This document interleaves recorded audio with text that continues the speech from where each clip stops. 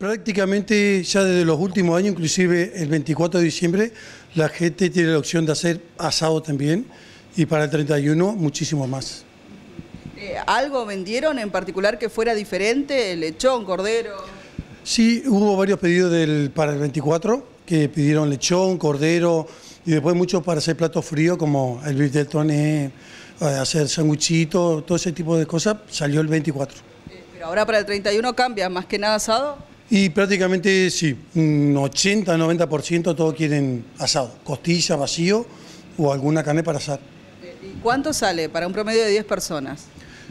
Uy, tenés que calcular hoy unos 10 personas, algo sin hueso, como para que te rinda unos 5 kilos de carne, a un promedio de 1.700 pesos el kilo más o menos, eh, te termina rindiendo porque no tenés hueso.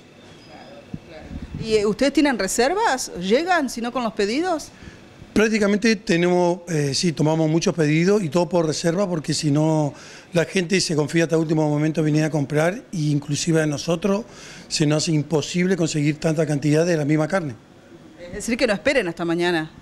No, prácticamente hoy ya estaríamos entregando casi todos los pedidos porque la gente se quiere asegurar y por ella lo van elaborando también con tiempo y ya no quieren esperar al último momento. Y por otra parte, si esperan a último momento, ¿les pasa que fallan los sistemas por ahí para hacer los cobros también? Eh, ya prácticamente para las alturas de esta fecha, inclusive para el Día de la Madre y todo, colapsa un poco lo que es el sistema de mercado pago, todo lo que es débito, por ahí tarda un poco en cobrarse y todo, ya estamos acostumbrados a que pase. Eh, pero por eso mismo entonces, a prepararse ya desde hoy. Sí, prácticamente como para no dejar último momento, porque después prácticamente la gente empieza a hacer un, reality, un maratón para poder conseguir algún corte de carne y me comentan, no conseguimos en ningún lado y no, no, estamos todos en la misma situación. Eh, a partir de enero siempre hay como un aumento en el precio de la carne. ¿Se espera para ya el comienzo del 2023? Eh, como pasó todo el año, prácticamente lo que es la carne vacuna, no tuvo prácticamente incremento.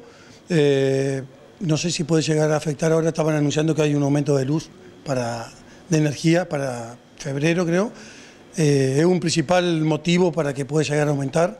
El combustible, escuché que se había frenado el aumento, pero si se suman todos esos gastos a los frigoríficos y todo, obviamente que lo traslada.